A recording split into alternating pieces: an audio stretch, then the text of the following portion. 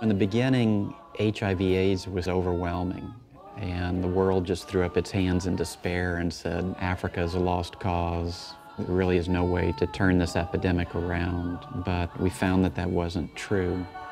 And with an investment of resources, commitment, and compassion, today we've turned a corner.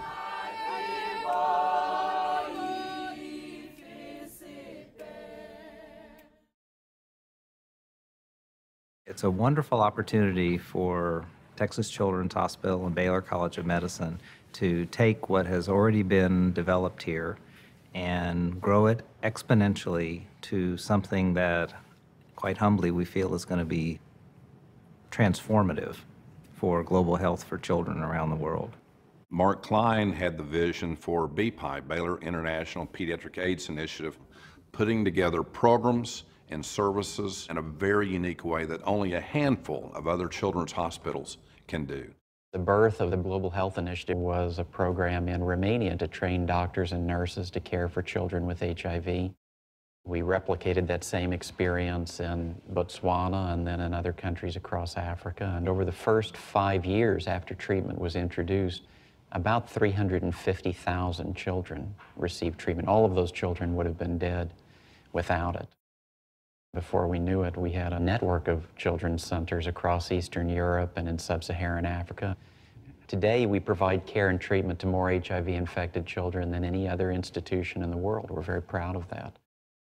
The Center of Excellence here in Botswana was the first on the continent of Africa. It was the best gift the children of this country could have gotten. It has made a lot of difference to the lives of thousands of children, not only here in Gaborone, but throughout the whole country. When you talk of pediatric HIV in, in Uganda, it's almost synonymous with Texas Children's Hospital and Baylor College of Medicine. The Center of Excellence is used as a springboard to actually support prevention, care and treatment services across the country. I actually have known Dr. Kline and the work of BIPAI for over 14 years and over $40 million impacting almost 100,000 people now.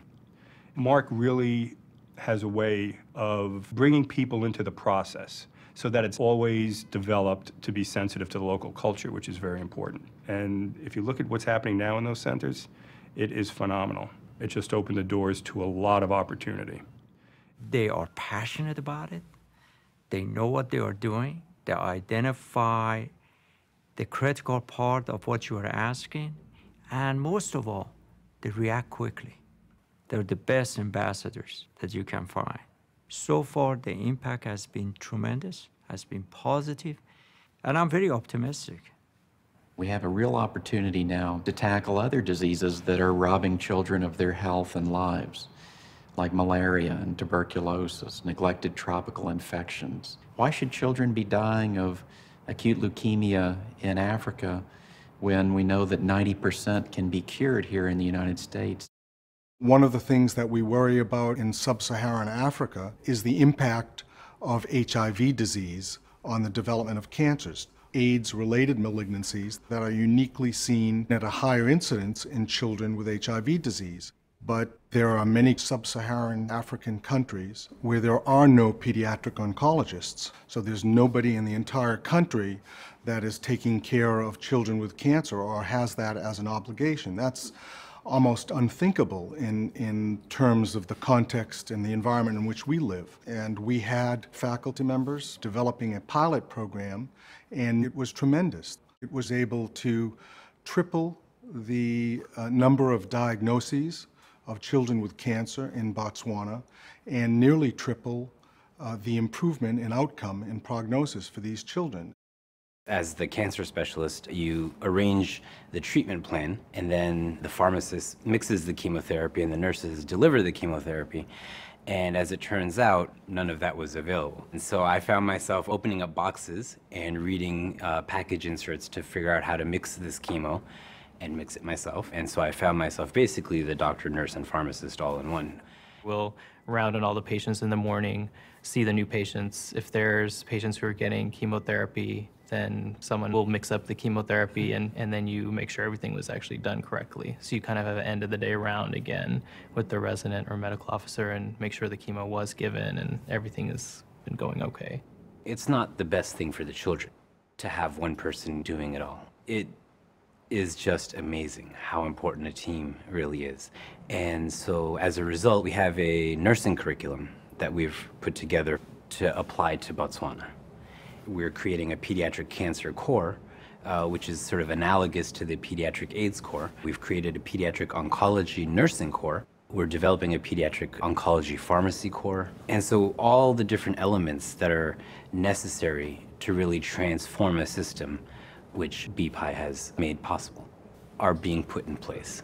We feel quite confident that we're going to be able to transfer the intellectual uh, capacity through a train the trainer program so that in each country there will be a subset of intellectual knowledge and competency in treating children with cancer. More than 80% of the kids are cured in the United States. And I think that model is really possible in a large part of the developing world as well. I think we can do that in the countries where, where BIPAI has a presence. I think we have the infrastructure. I'm actually really excited to see what happens now that we have three doctors and that enormous support network. And if we can increase that to five or 10 doctors, just imagine how many children would benefit throughout the world. UNICEF, I have to say, has welcomed this global health initiative because it's the way we've tried to work from the start. This is a center of excellence that is important for us to harness for international public health goals. Working with BIPAI, working with Texas Children's Hospital, working with so many donors and partners has been a blessing, but the fight is not over yet. Fortunately for us, we have also, over the last few years, been able to train a number of local doctors to advance the health of children throughout Botswana. A number of the centers that we have built and operated across Africa and in Romania now are completely staffed by African professionals. That's a real success story. That just makes it permanent, it's sustainable, and it's a web that keeps expanding so that children will benefit in perpetuity. So your dollars don't have a limited life. They, they just go on and on. There is no place in the world better suited at this point in time to take on these diseases. It's an obligation that we have as compassionate human beings. And we have the tools, we have the wherewithal to make a real difference, to really change the world.